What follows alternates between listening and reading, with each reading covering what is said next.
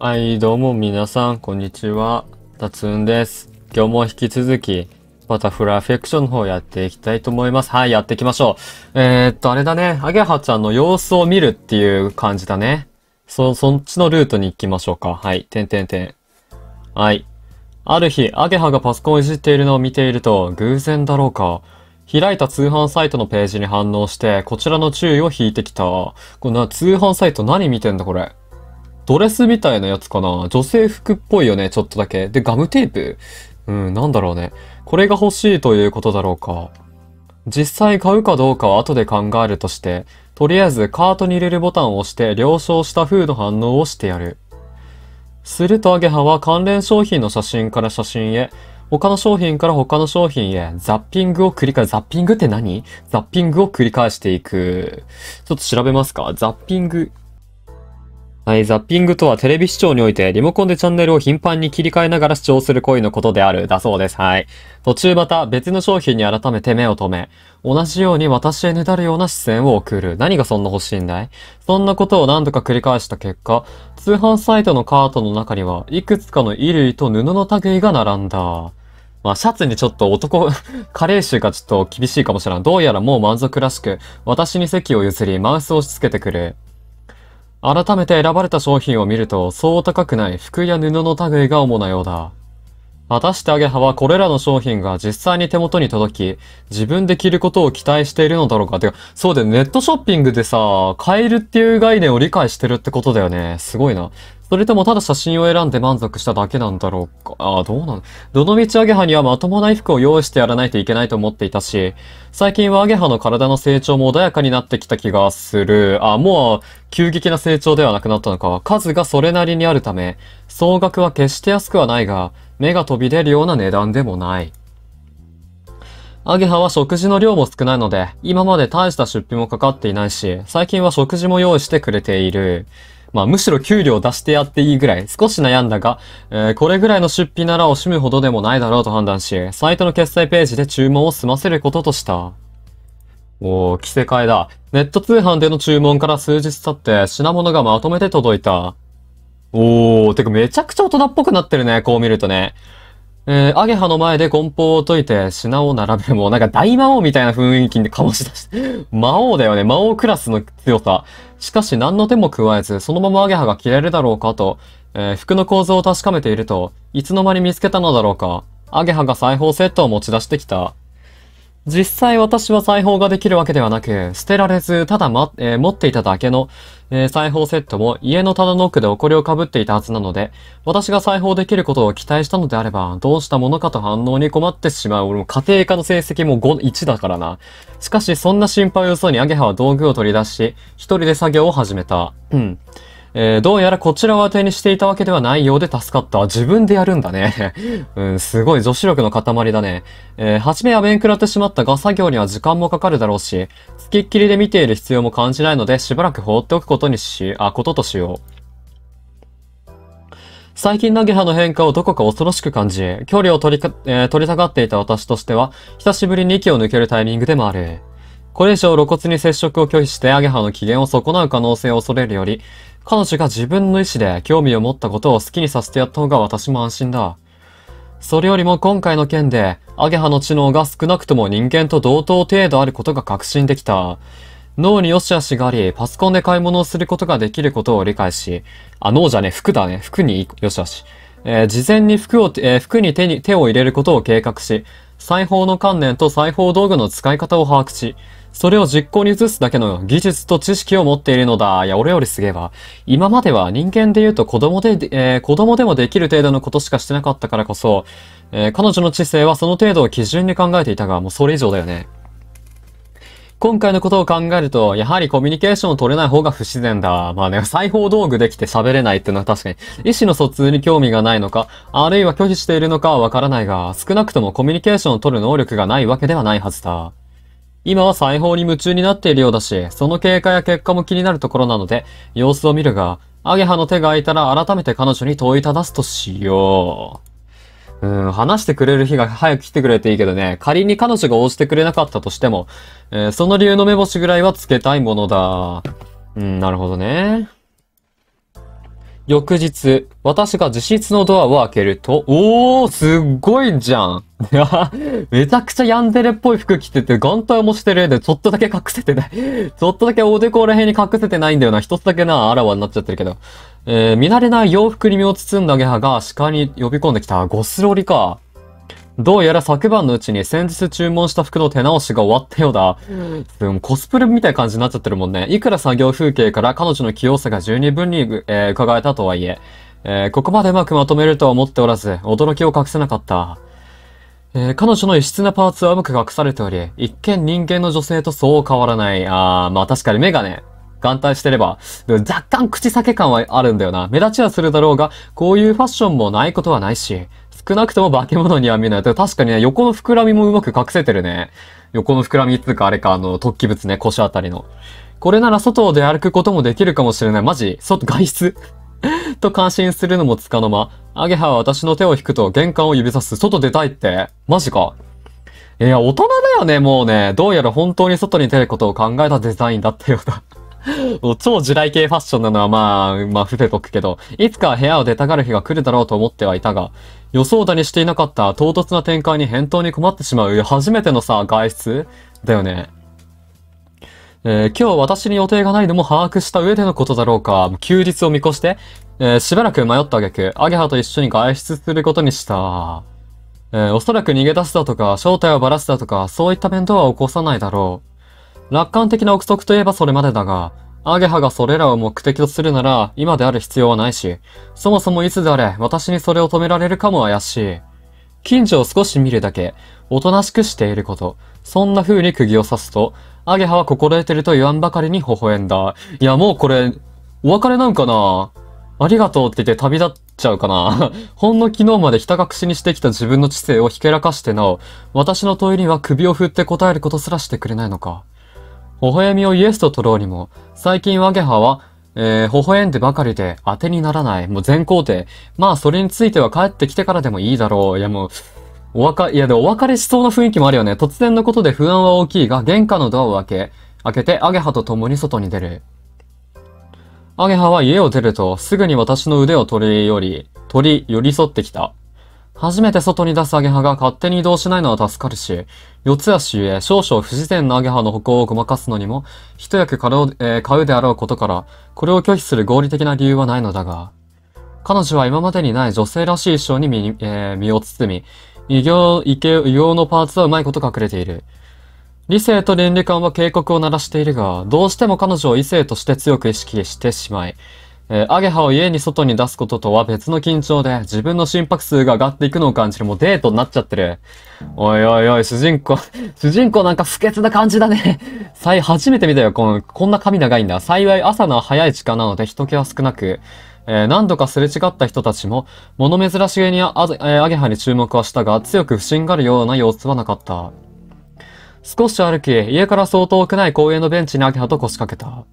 ここでアゲハに近くの景色を見せたら家に帰ること、えー、帰るとしよう。まだ部屋を出てから大して時間は経っていないが、こちらに身を寄せるアゲハに対する動揺と、初めて彼女を外に出した不安で、私の心臓はすでに限界だ。やばれたらやばいよね。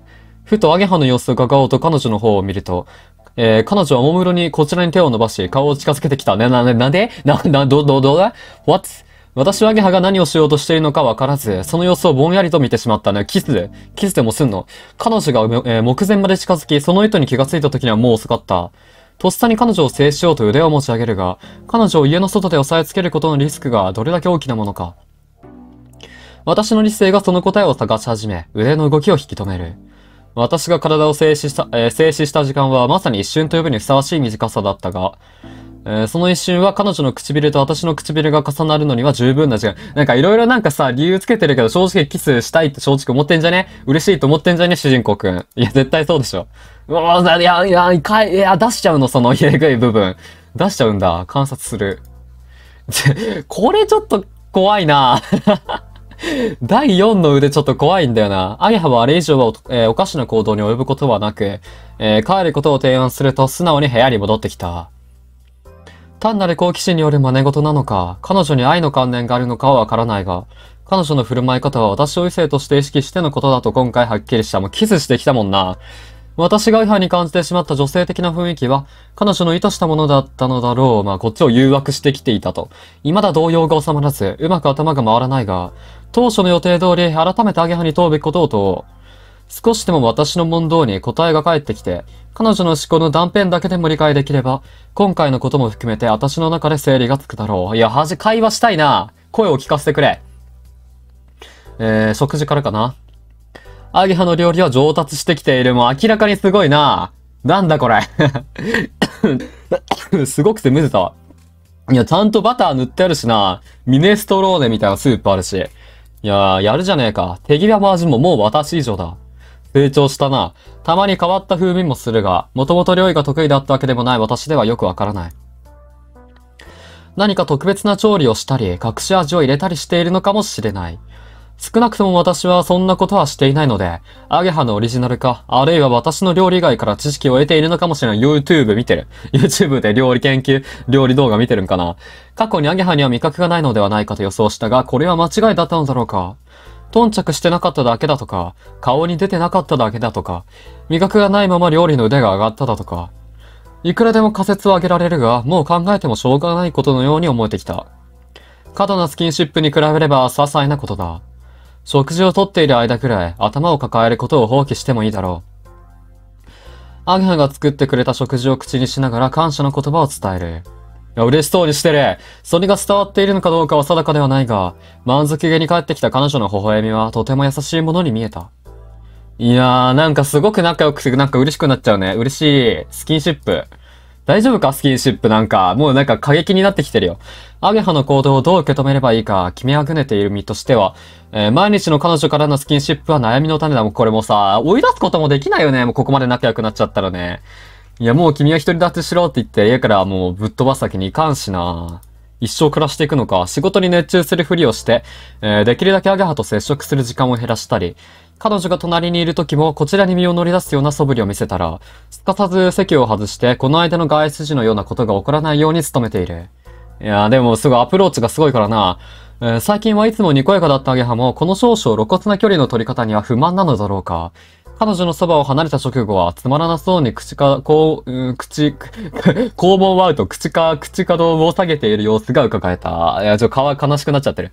えー、なんかめっちゃなんか可愛いじゃん、この子。それを見るたび罪悪感に胸が痛み、えー、彼女に寄り添ってやりたい衝動に駆られるが、身の安全のためと言い聞かせて、無理に視線を外している。まあ、倫理的にさ、化け物とさ、恋愛関係になっていいのかっていうちょっと迷いが生じてるよね。いや、でも俺は全然多分付き合っちゃうけど。はい。対話をこけて、殺され、怖いんだよな。でも確かに怖い。主人公の気持ちもわかる。えー、仮に言語の関連がなくても、アゲハが意思疎通に応じてくれる気がありさえすれば、いくらでも別の手段があるだろう。そう思って役に立つかもしれない資料を手当たり次第に読み漁った。ペットのしつけ、子供の教育、異文化とのコミュニケーション。心理学や精神疾患についてのエッセイにも目を通した。いや、その上で今回は特に根気強くアゲハに向かい合ったが、その結果分かったのは彼女にこちらと意思を通わす気がないということだ。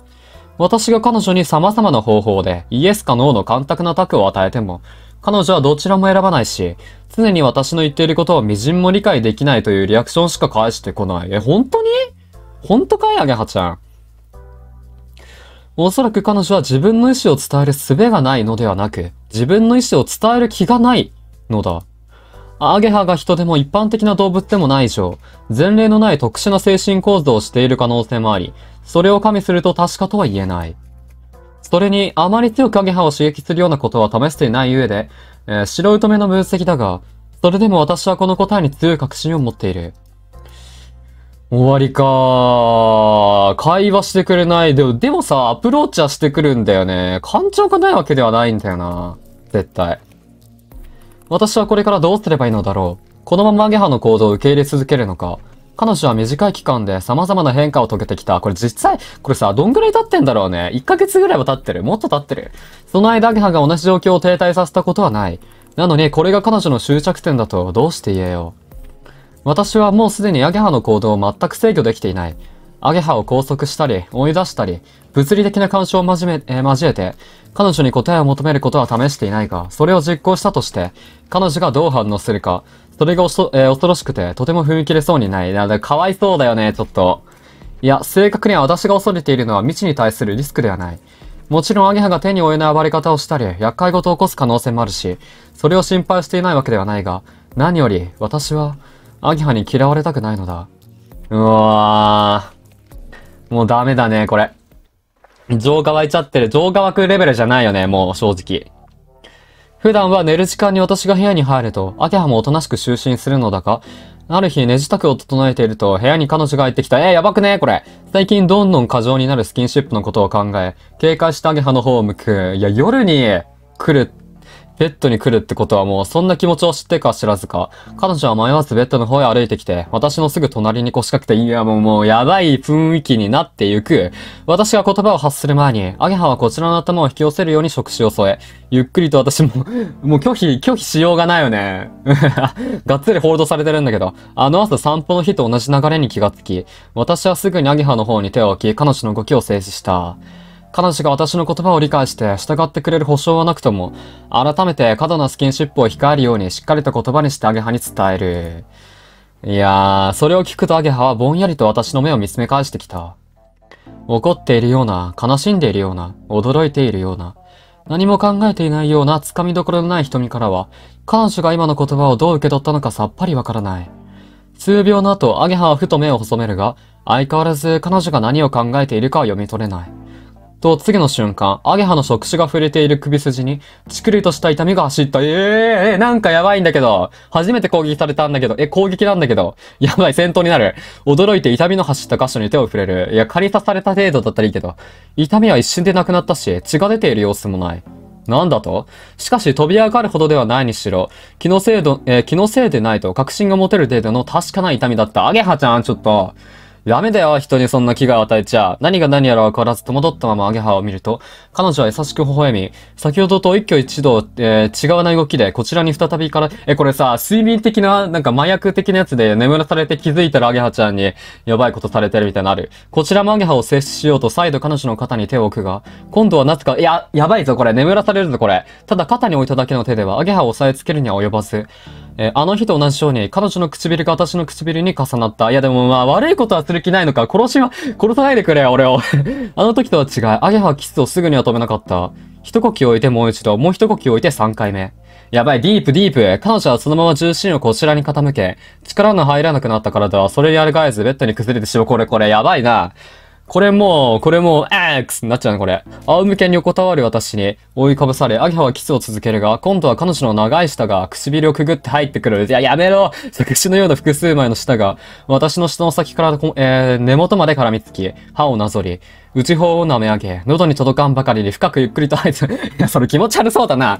でも、アゲハちゃんさ、舌長いからさ、自分のほんと喉の奥まで 突っ込まれそうで怖いよね。かろうじて動く腕で、アゲハを押しのけようとするも、ろくに力が入らず、まるで抵抗にならなかった。やっぱり麻薬だ。麻薬というか、なんだろう。毒？ど、えー、じっとりとした動きで、くまなく口内をなぶられるような、人間にはできない情熱的なキスをただ受け入れることしかできない。その上、皿一枚持ち上げられないであろう体の麻痺に反して、感覚はむしろいつもより過敏になっているように感じた。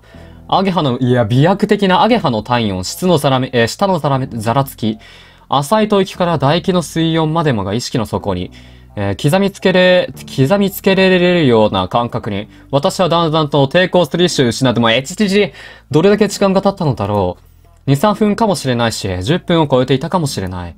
マドロンだ意識では長かったのか短かったのかも判断がつかなかったが、とにかくしばらくしてアゲハはゆっくりと重ねた唇を離した。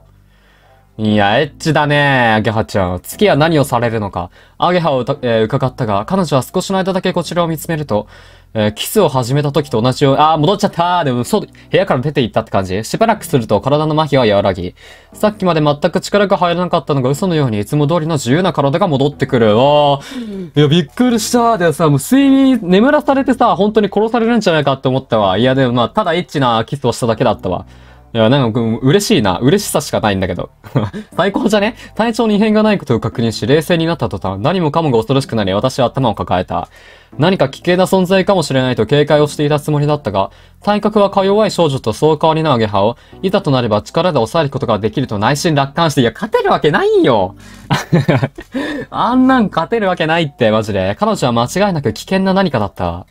しかし、あれさ、ワンチャン本当に毒とか作れそうだよね。毒、今のはなんか毒の成分を抑えてるかもしれんけどさ、本気出したら一瞬でなんか 一瞬で殺されそうなんだよな。しかしそれを知ったところで何も状況は変わっていない。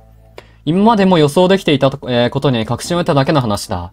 放っておいたらまた何をされるか分かったものではないが、彼女の機嫌を損ねたらそれこそ危険だろう。いや、これさ、やられちゃうよ、これ。いや、これ襲われちゃうアゲハちゃんね。不安に震えながらも、脳裏に焼き付いた甘く、甘く深い接吻がフラッシュバックする。でも、でも気持ちよかった。でも気持ちいい。今まで抱えていた、えー彼女を受け入れればいいのではないかという危険な欲求は不思議なことになくなるどころか強くなっている。えー未知の存在であるアゲハを恐れる以上に、彼女に溺れたがっている自分を恐ろしく感じた。いや、もうやばいね。アゲハちゃんなしでは生きていけない。やばい。中毒になってる、完全に。いやー、なんか毒盛られたからあれやばいな。アゲハの触手から小さな痛みを感じて、間もなく体の中が効かなくなった。即効性があり強力で、それでいって一時的な毒を扱えるようだ。えー今のところは、えー傷跡や後遺症の類はなく、健康にも影響はないように思える。むしろ長く尾を引いているのはアゲハの接吻だ。毒の効果もあったのかもしれないが、あの体験は私の記憶に異常に鮮明に残り、彼女を見るたびその時の感覚を思い出してしまう。あれから私は結局何を決断することもできずに、今に至っている。なんとか考えを整理して、状況を改善しようと、えーペンを持ちはしたが、もうここから何を書けばいいのかもわからない。アゲハは私に一体何を望んでいるのだろう。なるほどね。いやー、今日はどうなる？あれ以来気持ちがつかず、寝室でぼんやりしていると、再びアゲハが部屋に入ってきて、私の方に近づいてきた。そしてこの間と同じように、彼女は手、えー手をこちらに、手をこちらに手を伸ばす。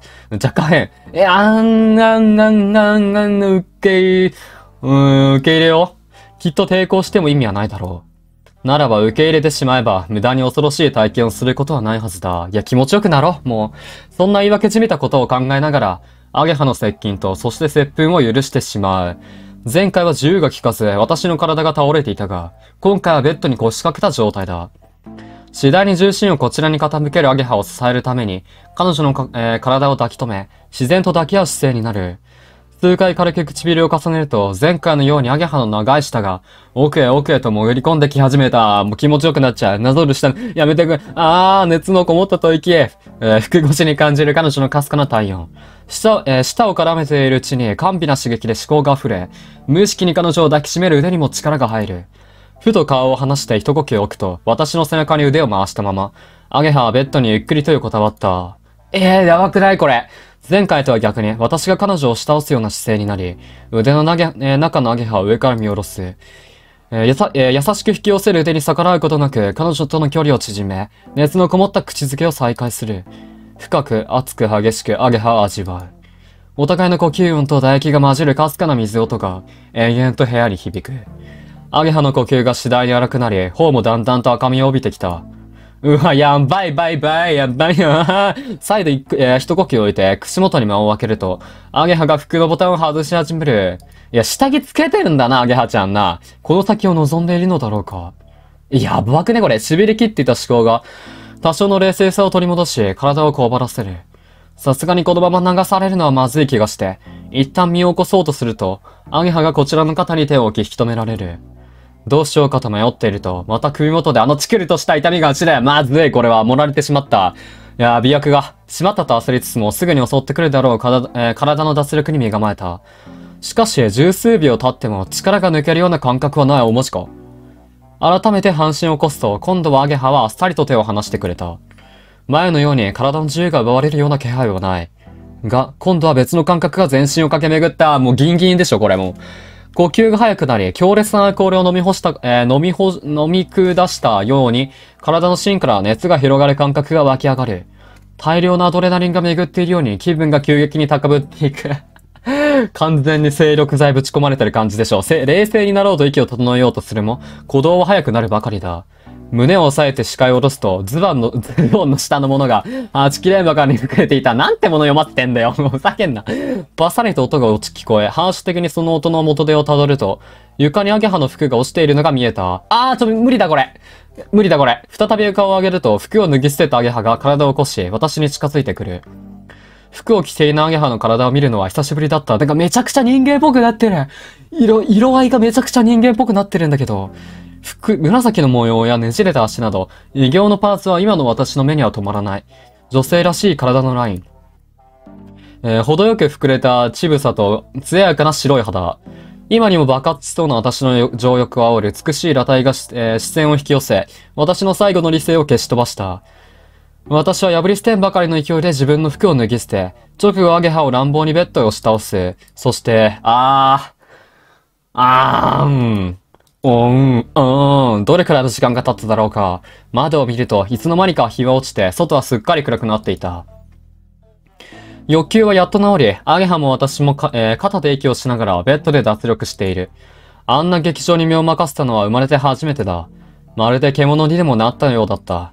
普段は運動不足気味なので、明日は筋肉痛を覚悟しないといけないかもしれない。しばらく経つと呼吸も落ち着き、重くなった体を起こしてアゲハを伺う。うわ、もう完全に超えちゃったね、一線も。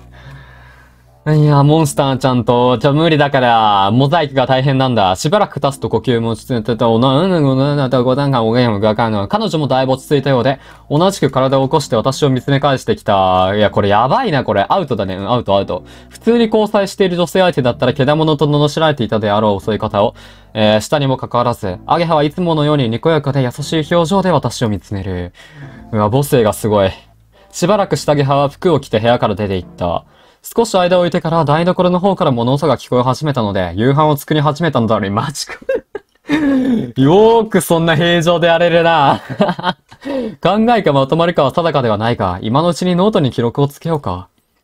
服を着て部屋のドアを閉じてからいつものように引き出しを開けて、えー、ノートを取り出す。おい、これ R18 やね 無理なんよ、普通に。開いたノートにペンを構え言葉を探すが、何か違和感を感じて視線を脇に反らす。え愛して？おいおいおいおい、読める、読め、読んでるってことじゃん。いや、怖いね。今まで分かってたってことでしょ、言ってることを。言葉全部理解してるし、てかノートを書いてるのバレてるじゃん。おい、マジかよ。私が書いたものではない。他に書き込めた人人物はアゲハ以外にいないはずだ。いや、お前に理解しとるやんけ、人語。私はアゲハの記録を書き留めることには細心の注意を払っていたつもりだった。このノートは一度たりとも彼女の、えー、目に入る場所で取り出したことはない。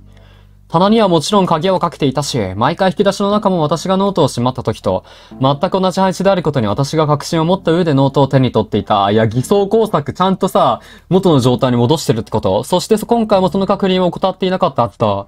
私がそこまでこの、えー、このノートに気を配っていたのは、アゲハに読まれないためではない。読まれた時、それを察知するためだ。アゲハは見たいものを見て、触れたいものに触れていた。隠れて何かをしている素振りはなく、堂々とした立ち振る舞いだった。彼女を拾った初めの日から今日に至るまで、えー、始終一貫してそう行動しているように見えていた。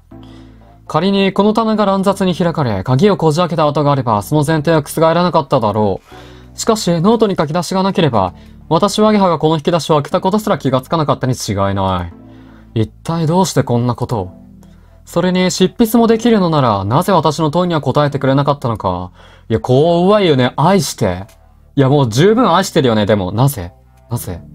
頭の中は次々と溢れ出る問いでいっぱいになり、そして最後に浮かんだ疑問が平常心にとどめを刺した。それはいつからだ？私が前回このノートを開いたのはほんの昨日のことで、それから今に至るまで私はずっと家にいたのだ。アゲハが気まぐれに私の部屋を物色していたら、それが私の目に入っただろうし、私の目の届かない限られた時間の間で偶然ノートを見つけて手を加え、ここまで綺麗に元の状態に戻すのはあまりに困難なはずだ。彼女が初めての、えー、このノートを見つけた日が、この赤い文字がつ、綴られた日と同一とは思えない。あー、えーやー、どういうことだ？しかしもし事前にノートの存在と位置を知っていたなら、私がシャワーを浴びている間や寝ている間にノートを確認し、ことを済ますことは十分可能だっただろう。だとすると、彼女は私の内心が綴られたノートずっと前から覗いていたとしてもおかしくないということだ。もし、もしそうなら、アゲハの行動が私の不安を煽り続けていたことを把握しているはずだ。パニックで頭がまともに回らなくなってきた。改めて呆然とノートの文字を見返す。いや、急に怖いね。私の綴った問いに対する明確な答えが言語で書き足されている。私の幻覚や妄想ではないはずだ。いやー、どうしよう、これ。いやー、もうすべて受け入れようか。アゲハちゃんを受け入れよう。アゲハの考えも行動も、もはや私には理解も想像も叶わない。だが、今回一つだけ彼女は私の問いに答えてくれた。今までコミュニケーションを拒み続けた彼女が、遠回しにだが初めてはっきりと言葉にしてくれた自身の望みだ。最悪のシナリオは今でも無数に脳内に積み上げられ続けているが、こんな過程に悩むのももはや疲れ果てた。すでに私は彼女の、えー、安打かな安打完璧な中枠の巣に絡め取られてしまっているのは、抗いようのない事実だ。今までもアゲハに対する恐れはあったが、それを押さえつけて、どっちつかずの距離に、えー、私を留めていたのは、私自身のか、えー、彼女に対しての思いに他ならない。私はノートを机に放り出して部屋のドアを開けた。するとちょうど、アゲハも台所からこちらに向かってくるところだった。何かいい香りがする。食事の準備が整ったから呼びに来てくれたのだろう。彼女に近づき、頬を撫でると、アゲハはかわ,、えー、可愛らしくこちらを見上げる。一呼吸置いて私は彼女に愛の言葉を囁えた。きっと私はアゲハの手のひらで転がされてるだけなのだろう。だからきっとこの言葉も彼女にとって驚くことではないはずだが。それでも私の言葉にとても満足げに、とても嬉しそうに、微笑むアゲハの笑顔はとても眩しく、美しく見えた。こちらに身を寄せてきた彼女を優しく抱き返し、これからは私もアゲハに尽くしてやろうと心に決める。モラルだの、リスクだの、もうそんなことに悩むのは予想。アゲハの行動は不可解なことばかりだが、少なくとも今は私に献身を尽くしてくれている。その対価にアゲハが欲しがるものが私の愛ならば、私も心からの愛情で彼女に答える、答えるとしよう。ハッピーエンドはい、じゃあ、警戒していくルート。アゲハちゃんを、まあ、拒んでいくルートやっていこうか。うん、警戒していきます。そう。アゲハが人間でないことは明らかだ。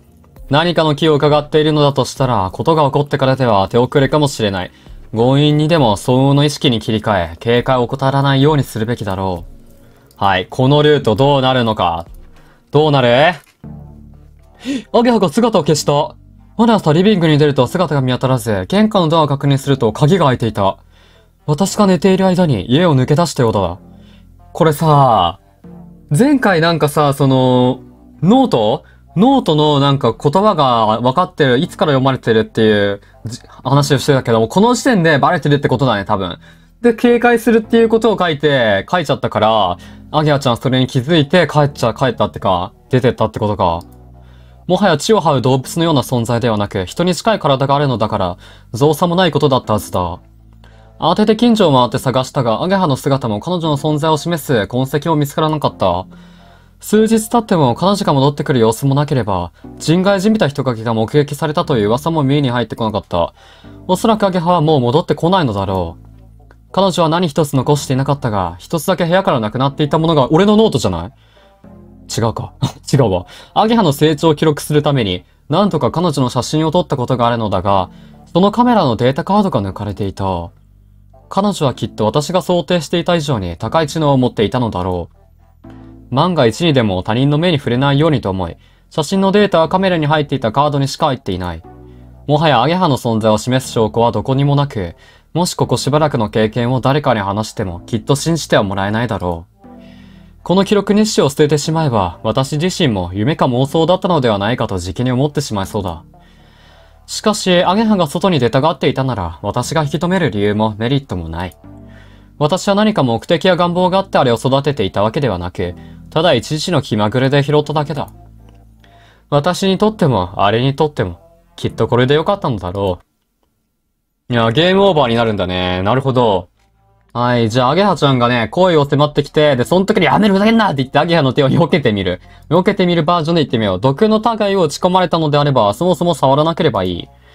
毒を持っていると分かっていて、黙って接近を許す意味などない。伸ばしてきた触手から身を引いて彼女を避ける。アゲハは何というかつまらなそうな顔をしたが、深追いしては来ないようだ。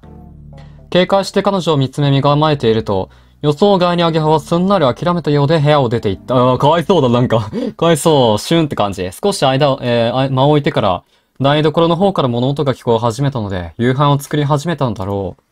考えがまとまるかは定かではないが、今のうちにノートに記録をつけようか。服を着て部屋のドアを閉じてから、いつものように引き出し開けてノートを取り出す。はい。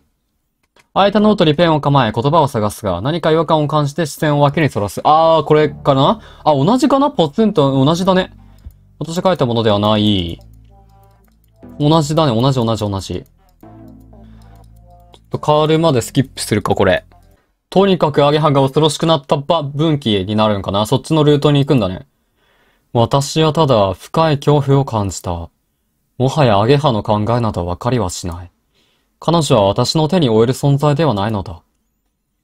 私の精神は彼女がいたずらに打ち込み続けた杭に貫かれ、もう平常を保っていられない。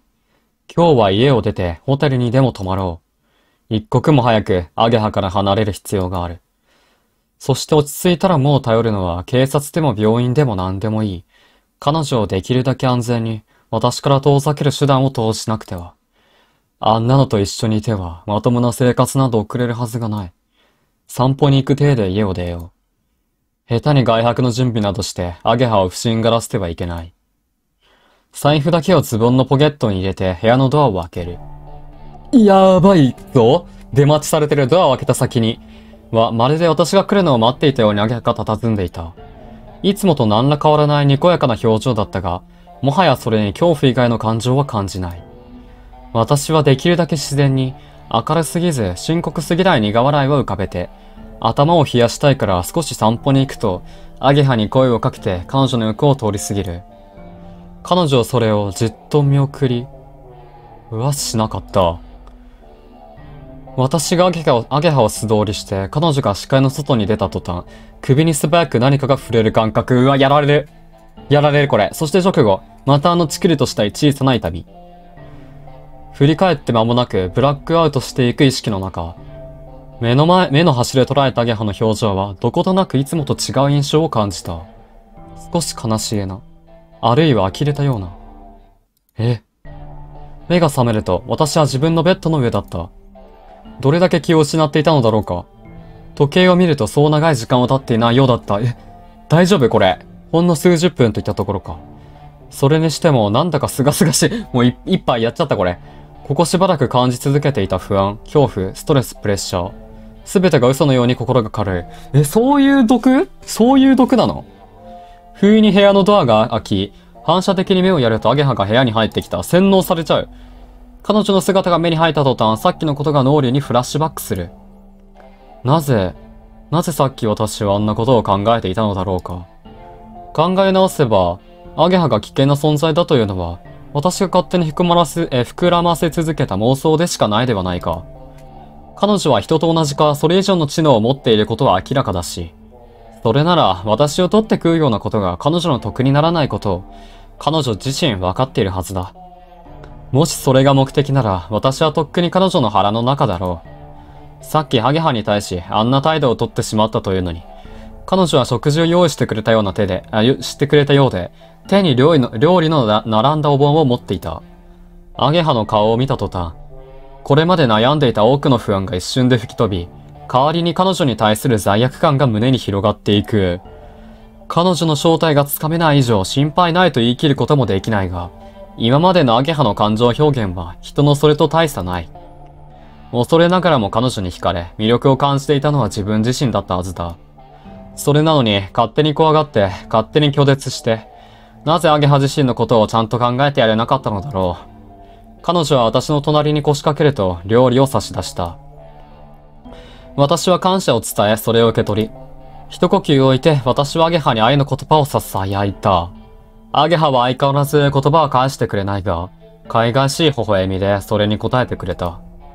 アゲハの顔をまっすぐ見るのは久しぶりで、その表情を見ていると彼女に対する愛おしさが込み上げてくる。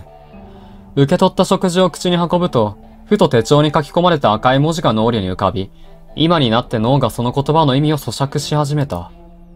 これからは私もアゲハに尽くしてやろうと心に決める。アゲハの行動は不可解なことばかりだが、少なくとも今は私に献身を尽くしてくれている。その対価に彼女が欲しがるものが私の愛ならば、私も心からの愛情で彼女に応えるのが私の使命だろう。ハッピーエンドになるんだ。ええー、もうどう転んでももうアゲハちゃんともうね、一生を遂げるしか選択肢がないと。